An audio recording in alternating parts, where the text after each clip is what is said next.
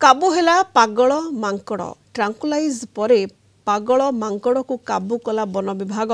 ଆଠଗଡ଼ ଖୁଣ୍ଟୁଣି ବନାଞ୍ଚଳ ଅନ୍ତର୍ଗତ ଘଣ୍ଟିଖାଲ ଗାଁରେ ଆତଙ୍କ ମଚାଇଥିଲା ଏକ ପାଗଳ ମାଙ୍କଡ଼। ପ୍ରାୟ ସାତରୁ ଉର୍ଦ୍ଧ୍ୱ ଲୋକ ମାଙ୍କଡ଼ ଆକ୍ରମଣରେ ଆହତ ହୋଇଥିଲେ। ଏନେଇ ଭୟଭୀତ ହୋଇଥିଲେ ଗ୍ରାମବାସୀ। ନନ୍ଦନକାନନରୁ ଏକ ସ୍ୱତନ୍ତ୍ର ଟିମ୍ ପହଞ୍ଚି ମାଙ୍କଡ଼କୁ ଟ୍ରାଙ୍କୁଲାଇଜ୍ କରି କାବୁ କରିଛନ୍ତି। ମାଙ୍କଡ଼ର ସ୍ୱାସ୍ଥ୍ୟ ପରୀକ୍ଷା ପରେ ସଂରକ୍ଷିତ ଜଙ୍ଗଲରେ ଛଡ଼ାଯିବ ବୋଲି ଖୁଣ୍ଟୁଣି ରେଞ୍ଜର ନୀଳମାଧବ ସାହୁ ସୂଚନା ଦେଇଛନ୍ତି।